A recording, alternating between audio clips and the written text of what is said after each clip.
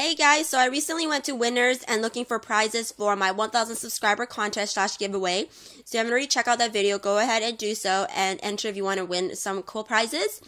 I went there to look for some prizes and I found this agenda slash diary thing that I really like. It's really compact, really nice looking, really great feel to the cover and everything. And the inside looks exactly like Filofax using the Filofax um, cotton cream paper. So I really, really like that. So I decided to pick up a few, give to my friends for Christmas, as well as put it in the giveaway. So if you want to win one of these, you can go and check out my giveaway slash contest. So you can have a chance to win one. And you will be winning either the purple one or the turquoise one.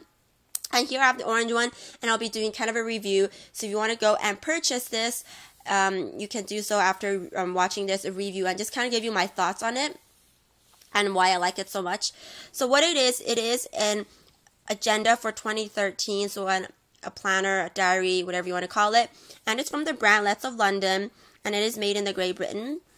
Um, it is comparable to around 14 $15. They sell it at $6.99 at Winners and then they were on clearance for $3. I was surprised to see that it was this cheap considering it's not 2013 yet. It's still in December of 2012. So I could actually still sell it at the full price, but it was good that it was on clearance, so I was able to pick up some extra ones of these to give away to people. So the front cover and the back cover is this really, really nice faux leather, really, really soft, and has this nice kind of flower embossed on the front of it. Inside it says it is the original diary since 1812. So Letts makes a lot of diary planner products and they're really, really good quality. And as you can see, the paper is basically like the Filofax cotton cream sheets. So really durable. And when you write, nothing shows through, bleed through, none of that kind of stuff. So I'm just going to go to the different components. It's much like the Filofax that you get. Um, it's basically the same thing, except that it is a binded kind of notebook style agenda. And this is the small size. I believe it is the slim pocket size. There's one smaller than this, and there's one similar to this, but not the slim. And then there's a few larger sizes, A5 size as well as an A6 size. So on the front here, you have personal information, so you can jot down your name, your number, whatever, in case you lose it. Also, national holidays for 2013 for different parts of the world, and you have a um, bird's eye view of the whole 2013 and 2014 if you just want to find out which day lands on what and you have that accessible. I really like how there's a 2013 year planner. So if you want to jot down like birthdays, anniversaries, different things just at a glance really fast, you can do so. And for each month, you have the monthly planner and it comes with the month calendar on two pages, starting from Monday and it goes to Sunday. I know a lot of people are used to having traditional calendars starting on Sunday, but most of people think of the week starting on Monday. So it's great to have it on Monday actually. So it actually matches with people's weeks. So it goes from Monday to Sunday. I know the weekends are a little bit squishy. But they also have a reminder section on the bottom, which can be used for jotting down your bills, like which day you have to pay your bills and stuff like that, or your goals for the month that you want to get through. And after that, you have your week on two pages. Each week, you have Monday to Sunday, and there are even number um, of spaces, even spaces for each.